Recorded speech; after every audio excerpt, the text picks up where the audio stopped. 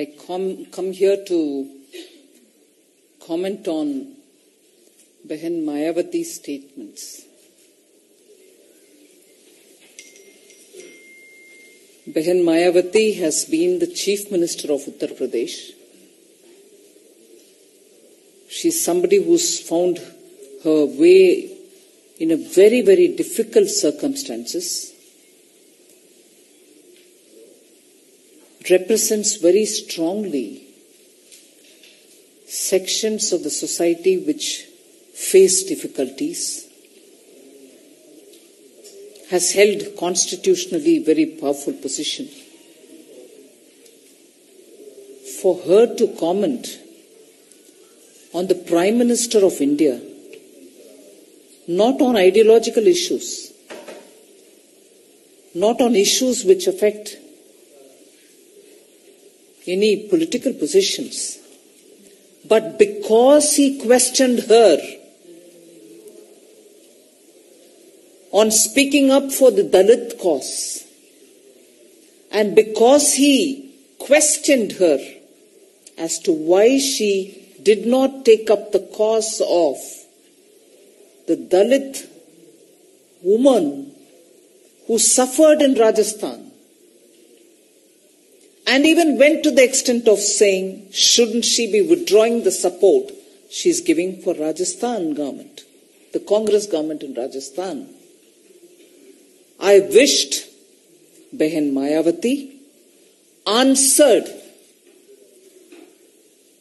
to reinforce the image that she has or she wishes to have of somebody who speaks for the oppressed classes of people. If she indeed wants to retain that position, she should have answered the Prime Minister. She should have answered why she did not speak up for the girl in Rajasthan who was raped, whose case did not get filed or an FIR did not get registered till such a time the elections were over. On the suggestion of the ruling Congress party there. If she indeed wants to speak up for the oppressed classes, she should have answered the Prime Minister as to what steps she has taken to speak up for the suffering girl. In fact, the Prime Minister said she should withdraw the support given to the Congress party, which for political consideration did not have the FIR filed.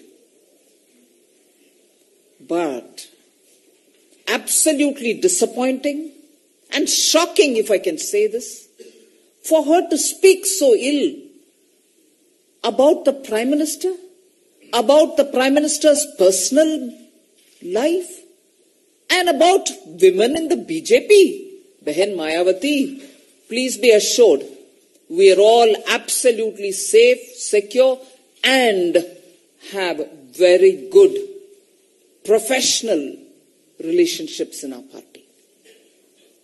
You do not have to be worried about us, Behan Mayawati, when there is a Dalit Behan in Rajasthan waiting for all of us to stand up and speak for her, who's in extreme distress. Sometimes it makes me think if Behan Mayawati thinks that is she the only Dalit in her list of Dalits? Does she think that she's the only Dalit in this world?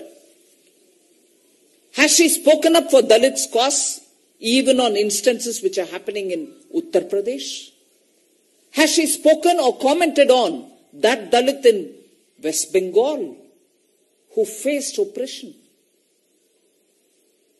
In fact, I would like to ask Behan Mayawati, does she at all speak for Dalits?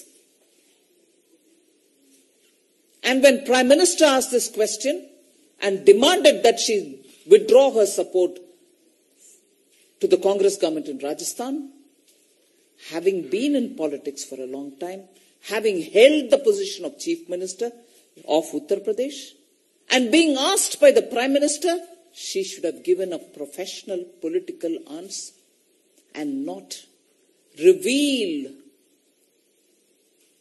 her worry, her anxiety that the Gathbandhan, Mahagatbandhan is getting nowhere. Six phases of election are over. Clearly, having been in politics for some time, Behan Mayawati has understood that her Gathbandhan, her alliance is getting nowhere. And that's the reason for her worry, her agitation, her sense of insecurity. And at that time, for the Prime Minister to rightly ask her a question, which only demands a fair answer to be given. Is she in favor of this girl or not in Rajasthan? Will she stand up for her cause or not? Will she take up this case with the Congress party or not? Will she withdraw the support because Rajasthan Congress government wanted to push this case under the carpet and kept it pending without even an FIR in the police station? Will she answer that or not? Instead, what she's done today by talking about the Prime Minister and his personal life and about all of us women who are absolutely safe in the BJP, she's only revealed that she's imminently facing a political failure. And as a result, I think